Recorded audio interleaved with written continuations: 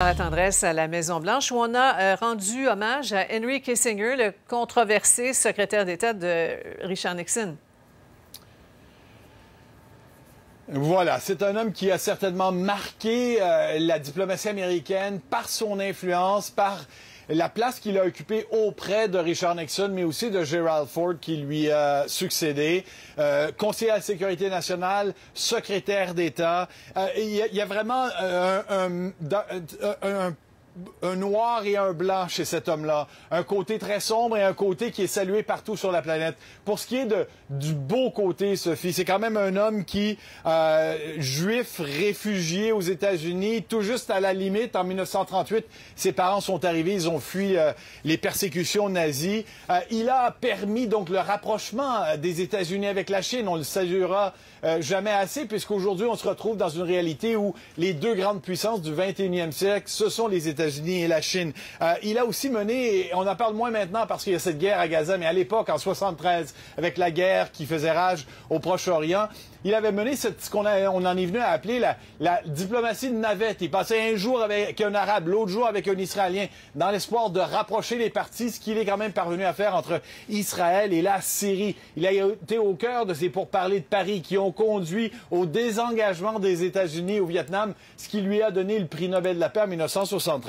Et puis à une époque, Sophie, là, on est au cœur de la guerre froide à ce moment-là, où Américains et Soviétiques se méfiaient les uns les autres. Il a quand même réussi à établir des liens pour faire en sorte qu'on en arrive aux premiers accords de détente entre les deux pays et donc sur le contrôle des armements. C'est pour ça que, notamment, un de ses lointains successeurs, Anthony Blinken, aujourd'hui secrétaire d'État, a souligné à quel point c'était un homme important qui continuait de le, conseiller jusqu'à tout, récemment encore. Secretary Kissinger really set the standard for everyone who followed uh, in, um, in this job. I was very privileged to uh, get his counsel uh, many times, including as recently as uh, about a month ago. Uh, he was extraordinarily generous uh, with his wisdom, with his advice.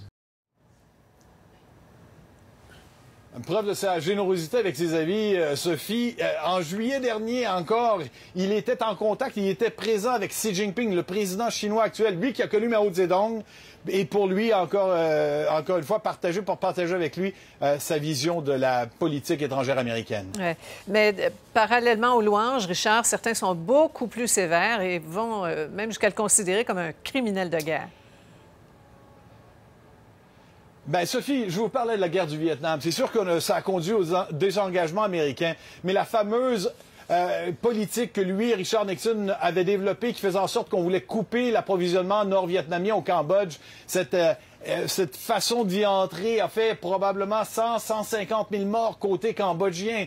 Euh, son anticommunisme viscéral a fait en sorte qu'il a soutenu le coup d'État qui a chassé du pouvoir Salvador Allende au Chili, mais aussi qui a amené au pouvoir les militaires en, euh, en Argentine qui ont commis des dizaines de milliers de morts chez les militants gauchistes. Alors sur ce côté-là, c'est beaucoup plus sombre cette vision de Richard, euh, de, de, Henry Kissinger. Il faut dire, Sophie, qu'un homme qui vit jusqu'à 100 ans réussit toujours quand même à aplanir les angles et c'est ce qui est un peu, euh, ce un peu réussi à faire. Oui, façon de voir. Merci beaucoup, Richard. Au revoir.